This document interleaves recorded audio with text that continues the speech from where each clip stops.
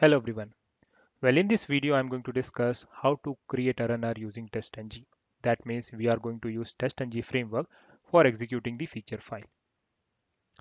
The first step is to create the empty class. The second step is the empty class will extend or inherit from abstract TestNG cucumber test. And then we need to use the annotation at the rate cucumber option to specify the configuration such as feature file location, step definition, and so on. Now, whenever you are using the TestNG framework for executing the feature file or creating the runner, there is some configuration which you need to have in your system. That is, you need to have TestNG jar as well as Cucumber TestNG jar at the class path of your project. Also, the TestNG plugin should be installed in the Eclipse. So this is the necessary configuration you need to have if you want to use TestNG framework for creating the runner. So in our project in the pom.xml, I have already specified the test TestNG jar as well as the Cucumber test TestNG jar. And also in my Eclipse, the test TestNG plugin is present, which you can get it from the marketplace also. So just go to help, Eclipse marketplace, and here search for test TestNG plugin.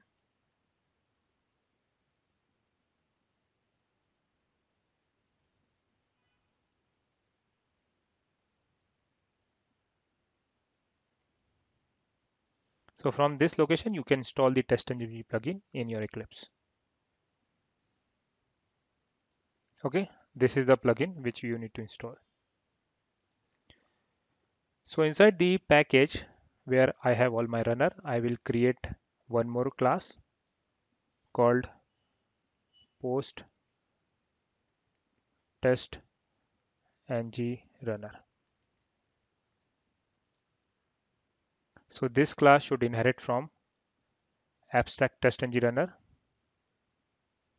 So abstract test ng cucumber test. And then we need to use the annotation that is cucumber options. And here we need to specify the configuration. So the first one is the feature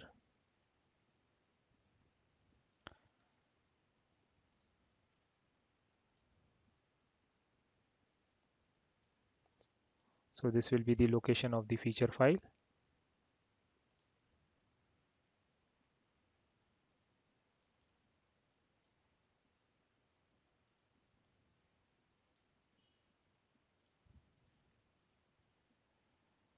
And then the step definition.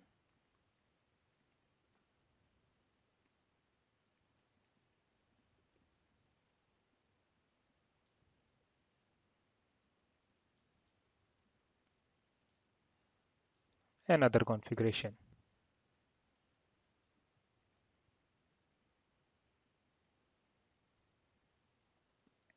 Now once this is done, just do a right click on the runner and select option as run as testng test.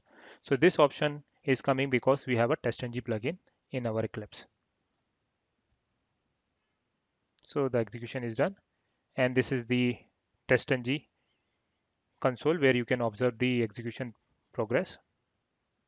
So this is our feature one user login and this is the second feature. So in this manner you can create the runner using the TestNG framework.